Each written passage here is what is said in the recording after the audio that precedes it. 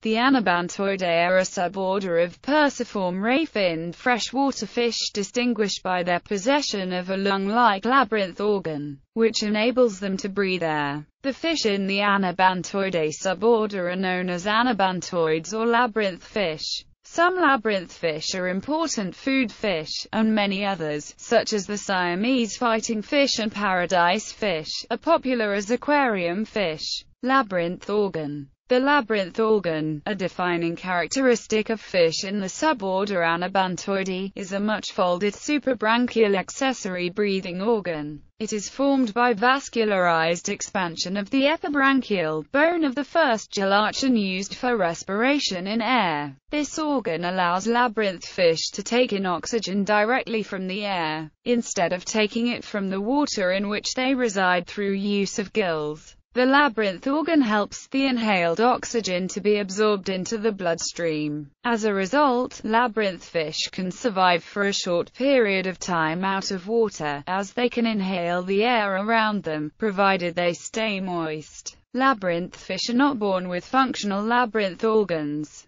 The development of the organ is gradual and most labyrinth fish breathe entirely with their gills and develop the labyrinth organs when they grow older. Range Labyrinth fish are endemic to fresh waters of Asia and Africa. In Asia, they are found throughout East, Southeast, and South Asia, especially but not exclusively in the warm, slow-flowing, low-oxygen waters. In Africa, significantly smaller numbers of labyrinth fish can be found in the southern half of the continent, with concentrations in the rainforest waters. The characteristics of the fish habitats are indicators of the size of the labyrinth organ, as the organ size is negatively correlated with the level of oxygen in the waters. Species native to low-oxygen waters are more likely to have larger and more complex labyrinth organs than species found in fast-flowing, oxygen-rich waters. Behavior In general, the labyrinth fish are carnivores that eat small aquatic organisms and carrion. Some species will also consume algae and water plants.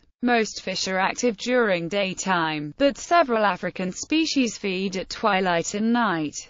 Species of the genus Colisa can spit water toward insects to bring them down to the water surface, similarly to the archerfish behavior. Labyrinth fish are well known for their bubble nesting behavior, although some species do not build bubble nests and employ other methods of brooding. For the bubble nesting species, males establish nesting territories and defend them vigorously. As the name suggests, the bubble nests are floating bubbles coated with oral mucus from the males. Typically, the male bubble nesters stay nearby to guard the nests and constantly retrieve any falling eggs and fry to the nest. Some Betta species from fast-flowing waters, however, are mouth brooders and do not build bubble nests. In these species, males hold the eggs and fry in their mouths and release the free-swimming fry about a week to 10 days after spawning. Anabantoids as food fish Several labyrinth fish are important food sources in their native countries. The giant gourami, in particular, is highly valued as food fish, due to its size and tender flesh with few spines. This species is farmed extensively in Thailand and other Southeast Asian countries, and was intentionally introduced in tropical and subtropical waters around the world. During the colonial period, the French attempted to introduce this fish to many of their territories. Although an attempt to introduce a population in southern France failed, the giant gourami became well established in other French colonies. In the late 1880s, attempts to introduce the giant gourami to California waters as food fish were unsuccessful. In the 1950s, a giant gourami population was established in Hawaii. Other smaller labyrinth fish, such as the climbing perch, the kissing gourami, the snakeskin gourami, and other gouramis of the genus Trichogaster, are local food fish in Southeast Asia. In some areas, the fish are processed into salted and dried food.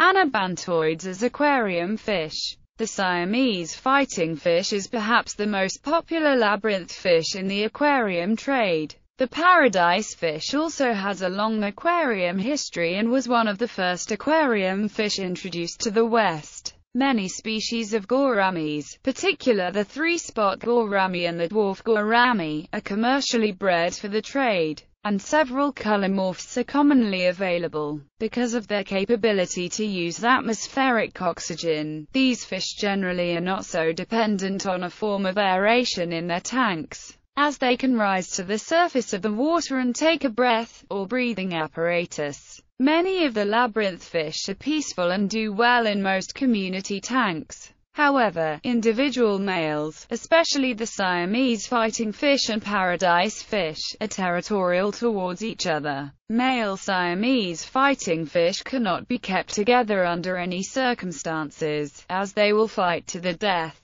In many breeding pairs, the male and female cannot be kept together for long periods of time. Males may perceive males of other species as competition if they have long and bright fins and attack them, as well. For other species of anabantoids, a large aquarium with only one male per tank is ideal to prevent aggression.